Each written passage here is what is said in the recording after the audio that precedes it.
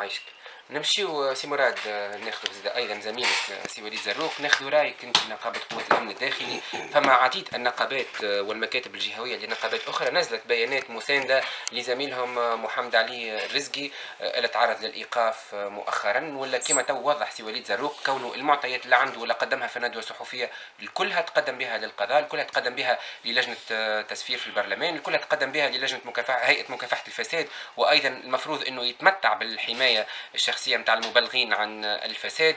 donc رغم ذلك الكل يتم إيقافه شنو موقفك سي مراد؟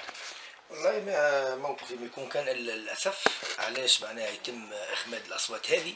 كنت أتمنى معناها في ظل دوله القانون والمؤسسات اللي يدعيها انه فما آه، جانب قضائي وقانوني يتم معناها تتبعه إذا كانوا أخطأ.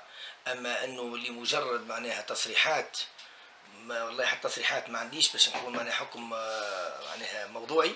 ولكن ديما آه، الحرية وسلب الحرية أني ضده. ما ما لم يتم معناها البت في القضية وادانته أو تبرئته. بطبيعة الحال في الحالة هذه ملكة الا التضامن المطلق لأنه ما هو إلا مواطن تونسي إلا عون أمن آه، أكيد عنده عائلة.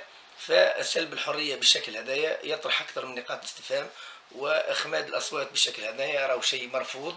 وأعتقد أنه لابد من التضامن المطلق مع السيد هذا حتى يظهر حقه على اعتبار كما حكيت هو ممكن تكلم في الشأن العام حكى على معطيات كنت نتصور ما دام حسب حكى توا سي وليد أنه ما قدم كل هذه المعطيات للنيابة العمومية.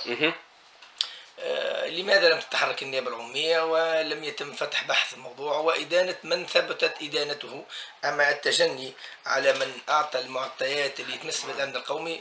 فهو شكل مرفوض قطعا بالتأكيد.